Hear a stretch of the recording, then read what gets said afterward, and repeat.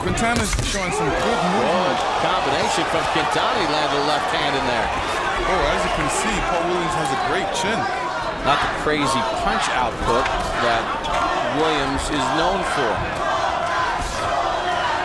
He's at 60 Quintana's so not, far. Quintana's not giving him a stationary target. Quintana digging right in there. Seemed to hurt Williams with that right hook. Right now, early, it's paid dividends for him. Quintana's finding Paul Williams easy to hit, which is odd considering Williams' height reach advantage. The combination by Quintana.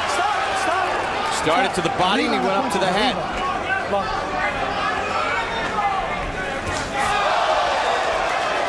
And Williams' left hand is not really coming as straight as it's supposed to be. It's more of a slapping left hand. Quintana jumps in and scores with a combination. Gets away from danger and shoots to the body.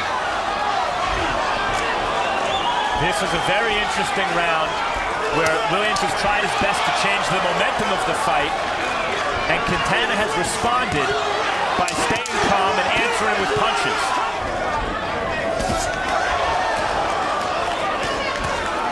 Left hand to the body, they exchange big shots.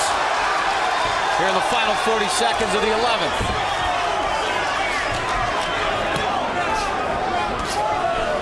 Left hand by Quintana.